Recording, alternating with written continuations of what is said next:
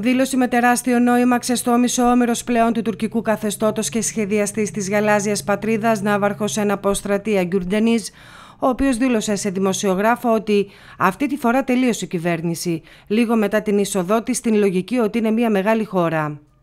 Ο κύριος υπέτειος του μεγαλόπνοου τουρκικού σχεδίου επέκτασης σε Αιγαίο και Ανατολική Μεσόγειο Γκιουρντενής είναι κρατούμενος και κλήθηκε να φορέσει ηλεκτρονικό βραχιολάκι στο πόδι, ωστόσο αποδείχτηκε ότι οι αστυνομικοί που ήρθαν στο σπίτι του για να του το τοποθετήσουν δεν μπόρεσαν να το κάνουν διότι δεν ήταν δυνατή επικοινωνία με τον τουρκικό δορυφόρο. Ο αρχισυντάκτης της τουρκικής εφημερίδας Σότσου, Ερκίν, ήταν δίπλα στον άβαρχο Γκιουρντενή τη στιγμή που οι αστυνομικοί επιχείρησαν ανεπιτυχώς να του βάλουν βραχιολάκι στο πόδι. Οι αστυνομικοί είχαν έρθει για να τοποθετήσουν ηλεκτρονικό βραχιολάκι στον Άβαρχο, όπως έκαναν και στους υπόλοιπους Ναβάρχους. Το GPS όμως δεν ανταποκρίνονταν σε τέσσερις ξεχωριστές προσπάθειες, έτσι οι αστυνομικοί αφαίρεσαν το ηλεκτρονικό βραχιολάκι και αποχώρησαν, είπε ο ίδιος. Ο Αρικίν μίλησε με τον Γκιουρντενίζ, ο οποίος δήλωσε ότι «Είμαι στο στόχαστρο και πάλι μετά από 10 χρόνια». Πριν από 10 χρόνια, όταν στη ΣΥΠΑ πρόεδρος ήταν ο Ομπάμα, το όνομά μου φιγουράριζε στις υποθέσεις Εργένεκον και Βαριοπούλα, γι' αυτό και με αποστράτευσαν στις 30 Αυγούστου το 2012. Θεωρώ στο μεγαλύτερο έγκλημα αυτή την περίοδο την στάση των αξιωματούχων όσον αφορά τα γεωπολιτικά συμφέροντα της Τουρκίας στην θάλασσα, κυρίως στη Μεσόγειο και τη Μαύρη Θάλασσα, συμπεριλαμβανομένη της γαλάζιας πατρίδας. Μέχρι στιγμής έχω γράψει 7 βιβλία και 500 άρθρα, ενώ συμμετείχα σε 400 συνέδρια και συνεντεύξεις σχετικά με την γαλάζια πατρίδα και την γεωπολιτική. Πιστεύω ότι έχω διδάξει το κράτος και τον λαό τι σημαίνει γαλάζια πατρίδα.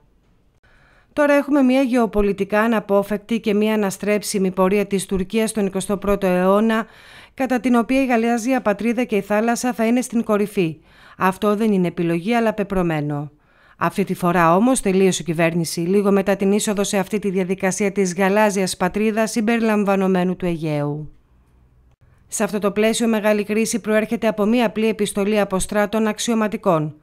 Βλέπω ότι το σχέδιο της γαλάζιας πατρίδας είναι στην πραγματικότητα στοχευμένο από εξωτερικούς παράγοντες, εμπλέκοντας τη συνθήκη του Μοντρέ και τα στενά, κάτι που μου θυμίζει την περίοδο που έκανε κουμάντο η οργάνωση ΦΕΤΟ. Την περασμένη εβδομάδα, το Παρίσι μέσω του γαλλικού ερευνητικού πλοίου εισήλθε στη δικαιοδοσία μας στην Ανατολική Μεσόγειο σε μια προσπάθεια που δεν είναι τίποτα άλλο από μια δοκιμή διάλυσης του σχεδίου μας. Σήμερα ήρθαν και προσπάθησαν να μου φορέσουν χειροπέδες στο πόδι μου. Αν υπήρχε ένας Έλληνας δημοσιογράφος εδώ σήμερα στη θέση μου, τι τίτλο θα έκανε; Οι Έλληνες με έκαναν πρωτοσέλιδο με τίτλο «Η γαλάζια πατρίδα σβήστηκε, ο εμπνευστής της συνελήφθη». Σε αυτό το σημείο να αναφέρουμε πως μόνο το πενταπόσταγμα αναφέρθηκε σε αυτό το ζήτημα και με αυτό τον τίτλο, άρα μας φωτογραφίζει. Και συνέχισε. Έβαλαν και μια γραφική παράσταση με μια φυλακή δίπλα στην φωτογραφία μου με τη στολή του Ναβάρχου και με ταπεινωτικές εκφράσεις εξέφρασαν την ευτυχία τους. Είδα την ίδια ευτυχία να παρουσιάζεται στου ιστότοπου τη ΦΕΤΟ με τον ίδιο ενθουσιασμό. Έκανε λοιπόν σωστή δουλειά. Έτσι απέδειξα ότι είμαι ο ναύαρχος του Μουσταφά Κεμάλ. Αν η Ελλάδα είναι ευχαριστημένη με την εχμαλωσία μου, είμαι στη σωστή πλευρά των γεγονότων, κατέληξε ο ίδιος μεταξύ άλλων.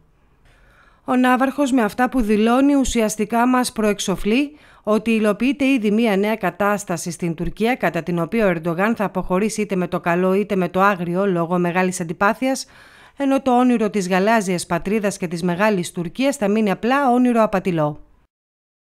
Ευχαριστούμε που μας παρακολουθήσατε. Αν σας άρεσε αυτό το βίντεο μπορείτε να κάνετε like και εγγραφή στο κανάλι μας για να λαμβάνετε πρώτοι όλες τις νεότερες εξελίξεις. Μην ξεχνάτε να μας κάνετε σχόλια με την άποψή σας, καθώς η γνώμη σας είναι πολύ σημαντική για εμάς.